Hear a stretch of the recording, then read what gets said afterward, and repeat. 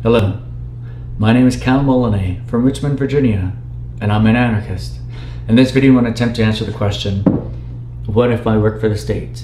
You know, as an anarchist or someone who's new to uh, anarchism, you know, and they find themselves in the, in the position, in the vocation of working for the state, for government, or um, contracting for a government, you know, you have to understand that the, that anarchism is not about quitting your job you know, anarchism really is about first letting go of the idea that violence us free. You know, let go of the idea that voting will set us free. Let go of the idea that politics will set us free. Let go of the idea that, that your political rulers or politicians have any vested interest in actually giving you real freedom in your lifetime. You know, from there, you can find a myriad of different different directions you can take. You know, to, to help spread anarchism in your own life. You know, that's where change begins. You know, to know thyself, to do the self philosophy, to do the self examination, to better understand yourself, to know, uh, I guess, why why you do the things you do, why you respond the way you do, um, to trace that back to to find the, the roots of, of, I guess, the the your internal struggles that you you find yourself in in, in this life. Um, and from, from there, that's where anarchy begins. It begins with you. It begins again with change, with with the person, with the individual. You know, before you start um, going out there with your interpersonal relationship and trying to spread this philosophy to to your community. You know, you can't be, you can't go out there and spread philosophy. You yourself don't feel that you're in a good place. You know, financially, uh, emotionally, physically. Uh, all, all, of this is very important. You know, if you go out there and talk about philosophy and spread, spreading anarchism, then people can see in your face that you're very stressed out. You're very, uh, you have this anxiety. You know, that's that's something people are going to shy away from. That's something that people are going to associate anarchism with, and people will kind of pull back away from that because you know that's you're, you're tying that in with the message with the product that you're trying to uh, tailor to, to your audience tailor to the people you're trying to spread this message to. So again with anarchism it begins with yourself. You know, let go first of the idea that violence will set you free and then start working internally start working with yourself. Um, and from there you know if you're a parent adopt peaceful parenting. You know there's we have a lot of information here at Liberate RVA we put together a really good peaceful parenting pamphlet. You know if you if you don't have kids you have to understand that uh, that for the most part, even if you don't have children, you know, I'm sure you would have friends who have children, or, or aunts or uncles or family members who do have children. You know, it's uh, and I, am very certain that uh, one day those those children, when they grow up, when they're finally of age, you know, they would have appreciated your involvement um, in their lives and, and trying to, I would say, save their lives and preventing this um, violent parenting that continues to go on. It's been going on for generations. So, you know, we have a peaceful parenting pamphlet. The pamphlets are really uh, designed to help encourage your communication skills. You know, that's uh, to kind of bring this digital activism that I found all over the internet, and actually bring that to real life, to actually bring that into your community. And the best way to start that is to start practicing. Um, you know, when you go out there, when you start talking to people, it's not about uh, trying to convince anyone right away. It's it, it really has to do with being able to, to exercise your, your voice, being able to exercise your words, being able to exercise how to communicate this philosophy to other people, and not to take it to heart, not to take it, um, not to feel let down if no one understands, because for the most part in the beginning, it, it is going to be difficult, but you'll find that uh, if you just examine those opportunities, when you examine those experiences, you can take out the areas where it didn't work and see areas where you can improve upon that. Uh, you know, because I'll be honest, uh, armchair philosophy is not going to set you free. Armchair activism is not going to be enough to end the state. You know, if you're not going to actually get up and actually go out there in your community and, and engage um, not just with your friends and with your family, but in the area that you live in, you know, it's, it's going to be put off for the next generation for them to to look back at us, you know, and we'll be the ones to be shamed for for not have done anything when we could have. And this is not something I want, this is not a burden I would want to put onto my children. You know, in the day that I do have my own children. You know, this is my generation, this is my time, this is my year, my hour, my my very moment to actually make a real difference. And that's that's that's what's really it's going to take. You know, to start reaching out to one another, to start practicing our communication skills, to start talking again to one another, to, to start using our real voice. And then from there, you know, there's so there's a myriad of different areas that you can, of course, you can you can practice whatever your skill are, whatever your um, talents are. You know, work in that in that area field. Of course, you know, I'm not saying everyone has to be a perfect communicator, but you know, this is this begins again with from the extension from yourself with your interpersonal relationships. You know, begins after that with your friends, with your family, you know, within your own social circle.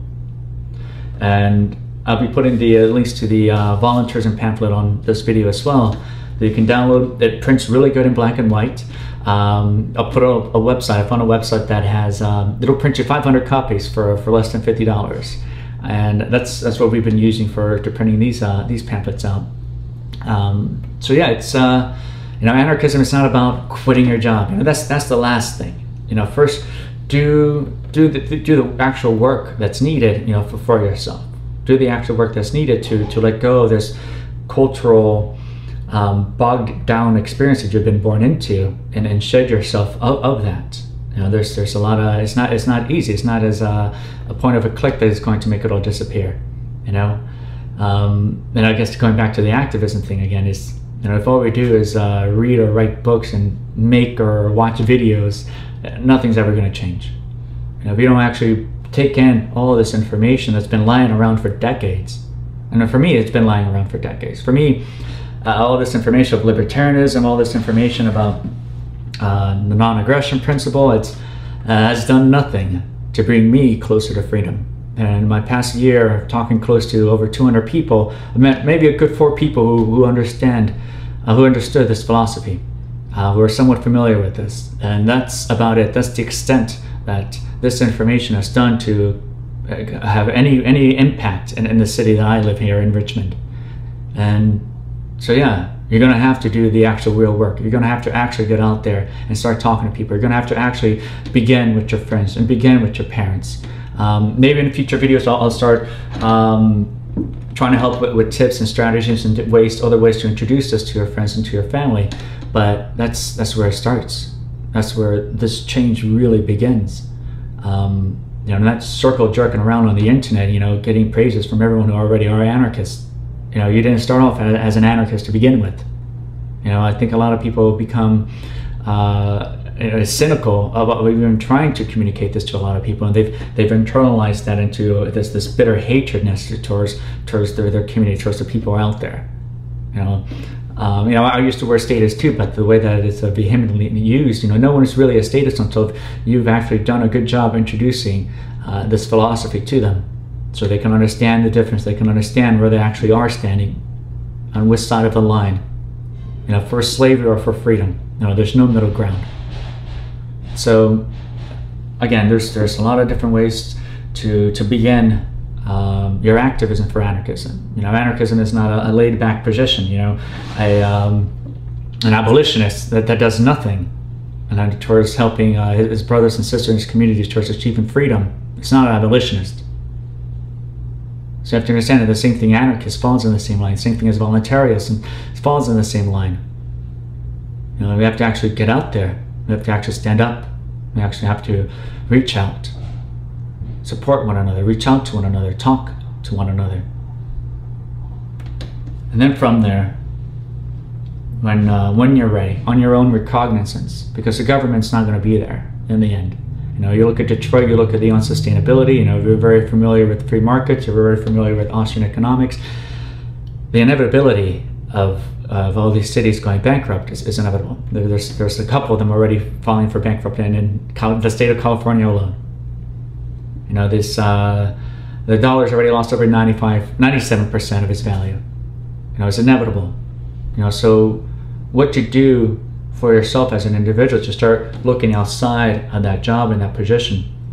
And start looking towards um, creating your own business if you can. You know that i find that to be the most liberating way the most um, i guess true freedom i guess comes comes from that to be your own boss. You know to set your own hours to to create your own productivity that you want to create the the, the happiness that you want to to achieve and bring in for yourself and to start looking in those areas. But if that takes a year, if that takes two, three, five years, that's that's entirely up to you to decide. That's entirely up to you to, to figure out. That's that's your road. That's your path. Now, however long that takes, that's uh, again, that's on your own recognizance to to figure that out. No one can tell you otherwise. But again, you have to start somewhere, and it begins first with letting go of the idea that violence will set us free. And with that, hopefully uh, not too brazen with a lot of these, um, I guess, my position, but uh, yeah, remember, anarchy is not a place or a destination. It's a way of life.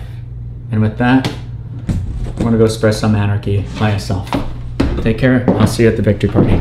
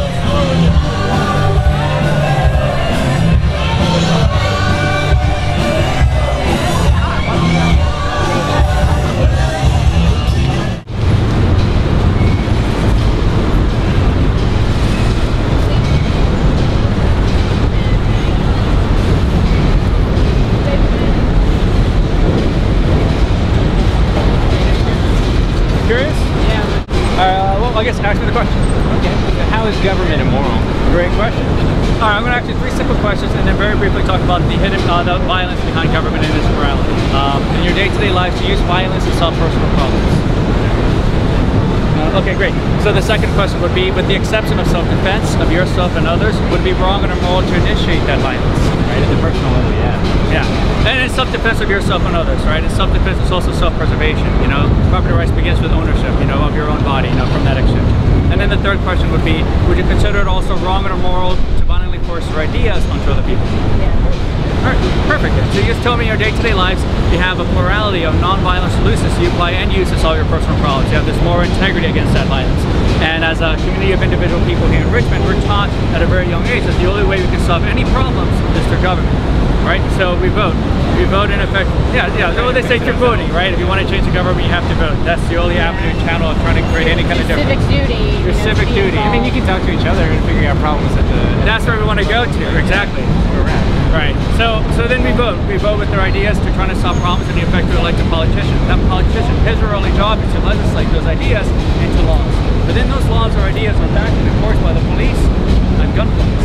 Right? You can take cannabis, for example. If I were to smoke a plant, I'd be kidnapped, arrested, thrown to a cage, a prison. In which any point I resist or refuse or don't agree with those ideas and try to escape, I'd be met with more violence and sometimes shot, murdered. Right? And that's yeah, that's not pretty dehumanized in a cage. And that's and that's the hidden violence of government. The government only has only knows how to how to solve problems in one way, a singular way, and that's through the threat of and use of violence to solve problems versus a plurality of non-violent solutions that we already apply in our day-to-day lives to solve problems. And unfortunately, government's also funded through more violence because at no point can you say, I want to help the poor, but I don't want to fund war. Right? You have no freedom of choice. You have to give your money. You have to give up your property. You have to pay your taxes. Because if you did have a freedom of economic choice, it wouldn't ready to send you to another cage. To pay your taxes. and that's and that's, that's pretty much it. That pretty much sums up the immorality of government. In, in, in contrast to what we already do in our day-to-day lives, you know, we find we seek out morality and non-violent solutions to, to, to solve our problems. Um, that's that's the hidden violence of the matrix. That's the hidden violence of the government. You know, they, they trick us into compromising our own moral integrity, and that's how it perpetuates itself. You know, we're, some, it's at some level insulated from the world that we want to take what we have, and so some level you have to defend yourself. And it seems like our government takes a stance where you can be proactive, and somehow we're heading off a future road where it would come to us. You know, the fight comes to you.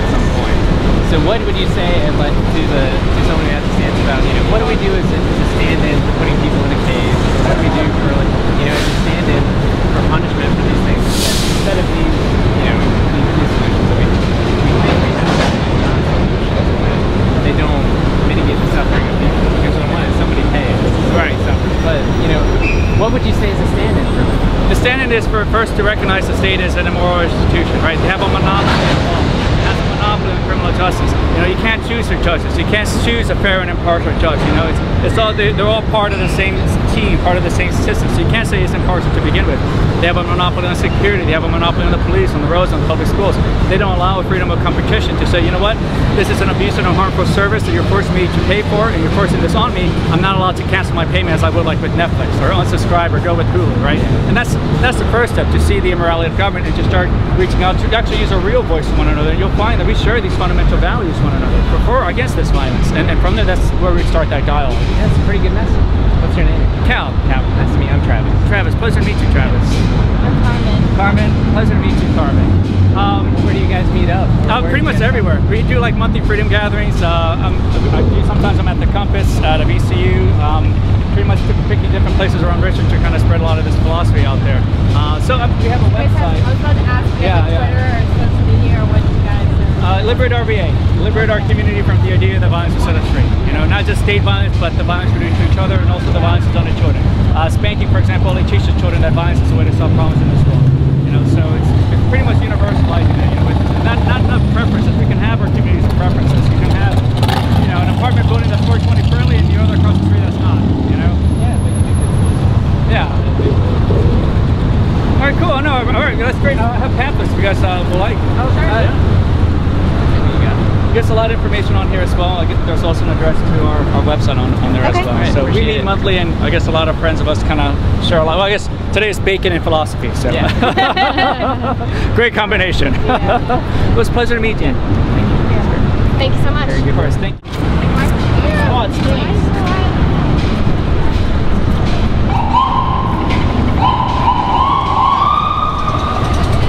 life to use violence to solve personal problems.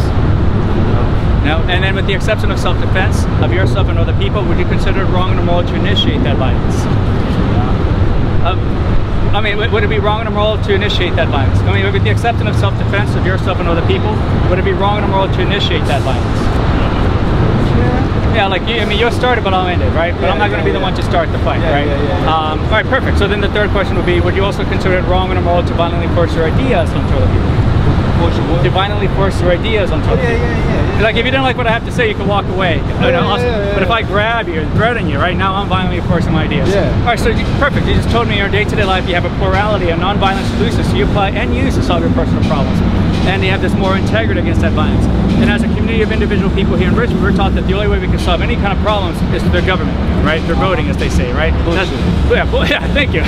so the people, the people vote with their ideas and trying to solve problems, and in effect, they're like the politician. That politician, his or her only job is to legislate uh, those ideas into laws. But then those laws of ideas are backed and enforced by the police at gunpoint. You know, you could take cannabis, for example. If I were to smoke a plant, I'd be kidnapped, arrested, thrown into a cage, a prison. And at any point I resist or refuse or don't agree with those ideas or try to escape, I'd be made by more violence or something shot, murdered, right? And that's the hidden violence of government. Government knows how to solve problems through one way, a singular way, and that's through the threat of end use of violence to solve the problems. Oh, yeah, yeah. Versus the plurality of non-violence pro- uh, non-violent solutions that we already apply and use in our day-to-day lives. It's like the Boston thing too.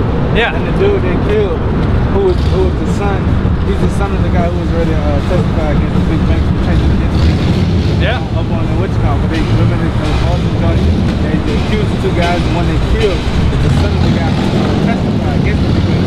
Purpose of wanting the system changing the interest rate. And now the judge has dropped the case, and no one's heard no more. And nobody knows why. Oh nothing. Yeah, yeah, yeah, yeah, yeah. They, Oh, I they- know. they play for the same team on that Oh side. yeah. Yeah. Oh, I know. I just wanted to hear your view though. Yeah, that's- I'm that's letting it. know somebody else ain't dumb like ain't dumb like the rest of us. Well, that's cool, man. That's cool. Oh, can I give you a pamphlet?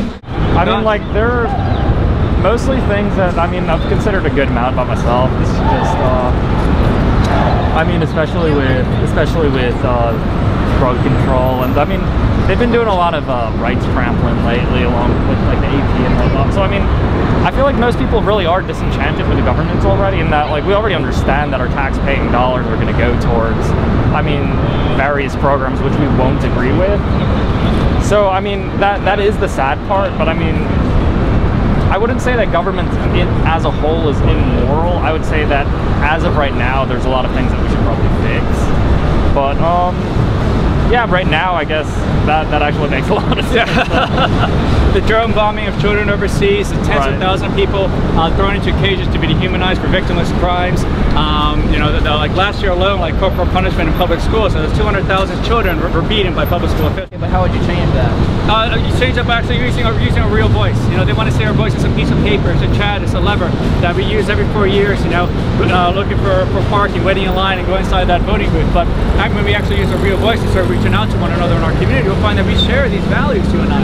Now we share these fundamental principles against that violence, and that's that's where we start to find free market solutions. To to first acknowledge and recognize that the state is is uh, has an institution of violence. It's that hidden matrix in, in our society that they have a monopoly on law, they have a monopoly on security, they have a monopoly on, on the roads, on the schools, and we're not allowed to compete. We're not allowed to, to cancel unsubscriber payments if it's a harmful piece of service that they force upon us to pay for.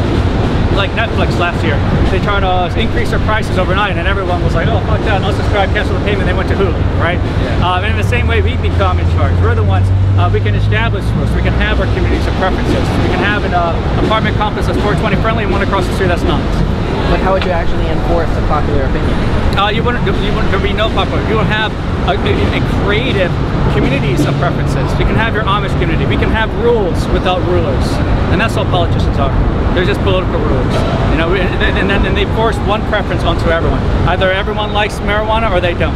And people who don't, regardless if you like it or not, you know, here's a cage for you. You know, they can only enforce one preference. They can only enforce one law. They have a monopoly on laws instead of having a plurality of laws. Instead of having uh, like a criminal defense uh, system that we can choose. We can choose our own judges. You know, that are fair and impartial. So with government, we have. Right? We have